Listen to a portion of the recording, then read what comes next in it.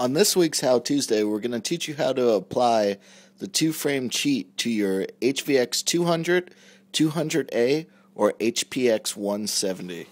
What you're going to need is your camera, an SD card, a USB cord, an SD card reader, or a digital camera that you can connect to your computer. The first step is to take the SD card and enter it into your Panasonic HVX 200 slot.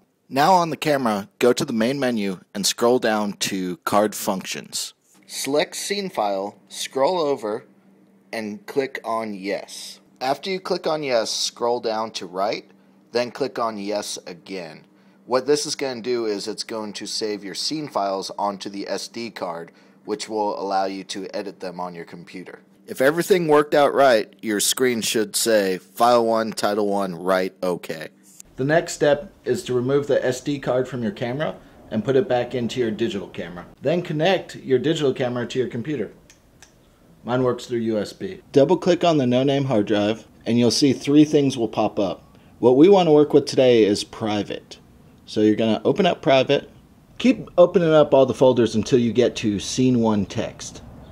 Double click and open that up and what that will now show us is every one of your scene file settings scroll down until you see frame rate default. So now what you're going to want to do is change that 0 to a 1.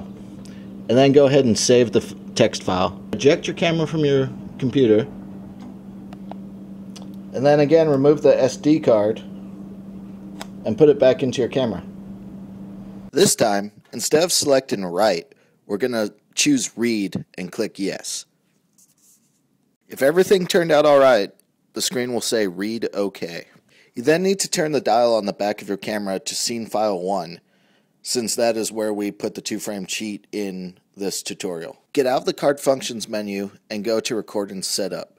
You're now going to want to change the camera to 720 30pn or 24pn. Go back to the main menu, click on scene file, change operation type to film cam, frame rate you want to change to 2 frames a second, and if you want that ghosted look, you want to change your Synchro scan to 180D.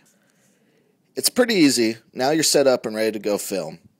Just to double check, make sure that your screen settings look just like this one 2 over 30p, 180D with no audio. If there's audio, then something wasn't set up right and you need to go back and follow the steps.